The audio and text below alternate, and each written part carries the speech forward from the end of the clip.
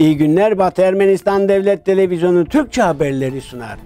Yarbay Virap Manukyan Batı Ermenistan'ın kılıç ve haç madalyası ile ödüllendirildi. Batı Ermenistan'ın ilçeleri Aznavazor, Aramayis Agabekyan, Rusya Federasyonu'nun Azerbaycan Büyükelçisi Mikhail Boçarnikov'un Şuşi ziyareti en azından anlaşılmaz ve kafa karıştırıcıdır. Batı Ermenistan'ın Dersim'de siviller için 145 yer yasaklandı. İbrahim Karaca, kim yerli kim yabancı. Halk müziği ve dansları alanı stratejik öneme sahiptir. Batı Ermenistan Devlet Televizyonu Vesten Armenya TV'yi destekleyelim. Batı Ermenistan Devlet Başkanı Armenak Abrahamyan özellikle 1. Artsakh Savaşı sırasında ana vatana verdiği hizmetten dolayı Batı Ermenistan vatandaşı Yarbay Virap Manukyan'ı Batı Ermenistan'ın Sur Haç, Kılıç Haç muharebe madalyasıyla onurlandırdı. Birinci Arsa Savaşı'nda ana vatanını ve Ermeni halkını savunmak için gönüllü olarak askere giden Batı Ermenistan'ın birçok evladı var ve Yarbay Virap Manukyan da onlardan biri.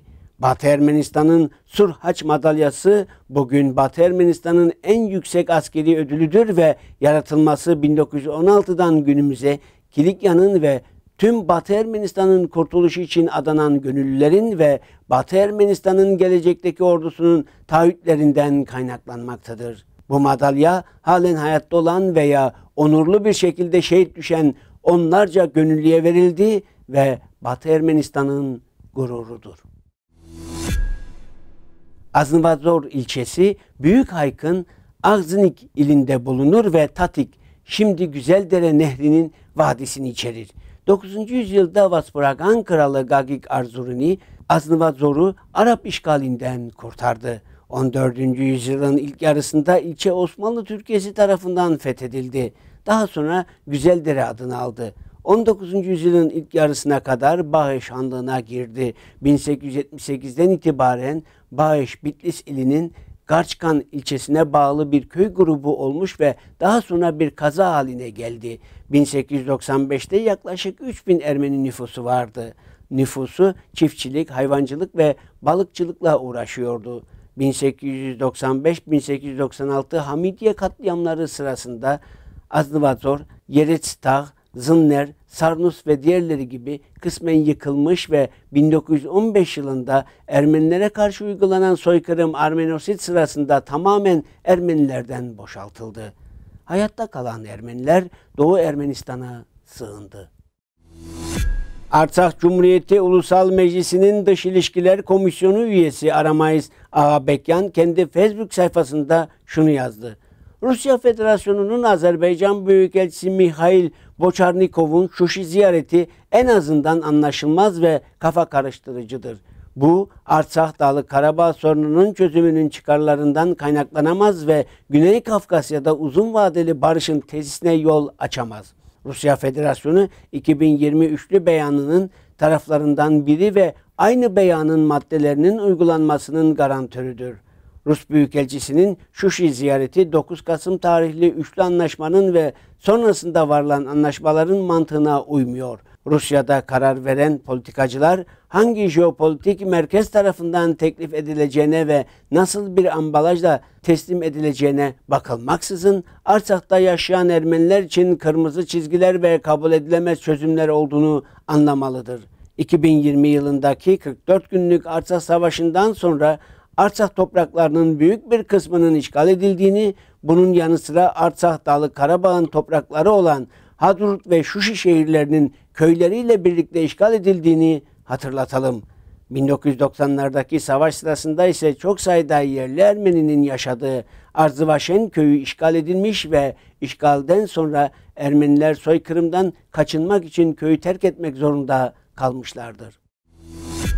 Zamanımızın yazarı İbrahim Karaca hem akademik hem de edebi kategorilerde birçok eser, inceleme, makalenin yazarıdır. Aşağıda Karaca'nın Osmanlı dönemi ve sonrasında Pontus Rumları, aynı bölgedeki ve Batı Ermenistan Ermenilerinin yerli halklar olarak sorunlarını gündeme getirdiği makaleden bir alıntıyı sizlere sunuyoruz.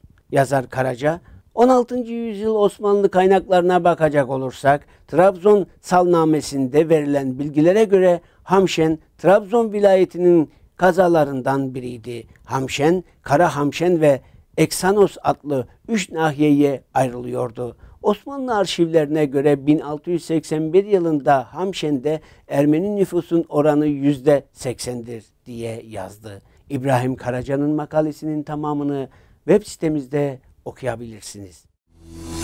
Batı Ermenistan'daki Dersim'in Hozat ve Ovacık ilçelerinde resmi olarak 4 bölgede toplam 145 alan sivillere yasak. Geçici özel güvenlik bölgesi ilan edilen söz konusu Dersim'in Nazımiye, Ovacık, Pülümür ve Hozat'taki alanlara girişler, yaylaya çıkanlara ve sivillere mayınlı saha, can güvenliğiniz yok denilerek fiili olarak yasaklandı.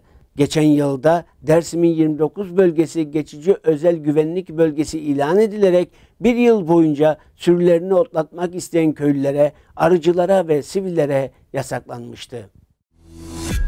Ermenistan Cumhuriyeti Eğitim, Bilim, Kültür ve Spor Bakanlığı, Ermenistan Cumhuriyeti Hükümeti'nin Ulusal Halk Müziği ve Dansları Merkezi adlı devlet kar amacı gütmeyen kuruluşun oluşturulmasına ilişkin karar taslağını kamuoyunda tartışmaya sundu. Kurulacak olan Ulusal Halk Müziği ve Dansları Merkezi adlı devlet kar amacı gütmeyen kuruluş dahilinde Ermeni halk sanatını temsil eden müzik ve dans grupları birleşecek. Eğitim, Bilim, Kültür ve Spor Bakan Yardımcısı Ara Hızmalyan'ın belirttiği gibi değişiklikler sistemi zayıflatmayı değil, aksine güçlendirmeyi amaçlıyor. Ara Hızmalyan, halk sanatının gençler arasında aranılan bir alan olmasını, kamuoyunda itibarını yeniden kazanmasını, her yerde duyulmasını istiyoruz dedi ve iki ay sonra amacı diğer programların yanı sıra halk müziği ve dans alanını stratejik öneme sahip alana getirmek olan Yarhuşta Festivali'nin yapılacağını belirtti. Batı Ermenistan bu girişimi memnuniyetle karşılıyor çünkü bunu Batı Ermenistan sanatını korumak için bir adım olarak görüyoruz. Çünkü sunulanlar Doğu Ermenistan'a soykırım yıllarında geldi ve yerel kültür oluştu. Sevgili yurttaşlar ve sevgili soydaşlarımız, Batı Ermenistan'ın kaderiyle ilgilenen adanmışlar.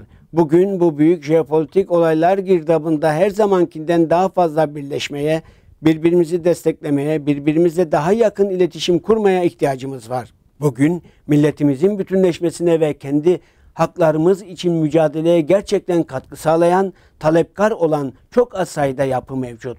Batı Ermenistan Televizyonu ve Sen Armenya TV hepimizin iletişim kurabileceği, birbirimizi tanıyabileceğimiz, tarihi vatanımız ve çevresinde meydana gelen çeşitli olaylardan haberdar olabileceğimiz eşsiz platformlardan biridir. Desteğiniz bilgi alanını daha da genişletecek ve atalarımızın ihlal edilen haklarının korunması, haklı davanın yeniden elde edilmesi için daha net ve güvenle mücadele edecektir. Adaletin yeniden tesisi için gelin birlikte mücadele edelim. Birlikte daha fazlasını yapabiliriz.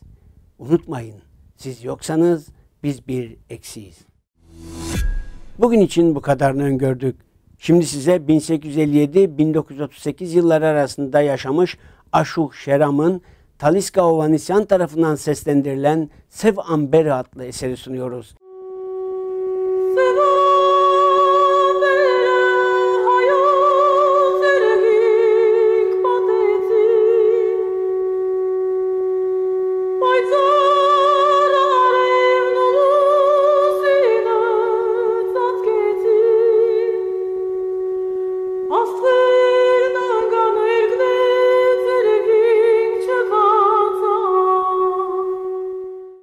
Eserin tamamını Batı Ermenistan Devlet Televizyonu'nun resmi sitesinden izleyebilirsiniz.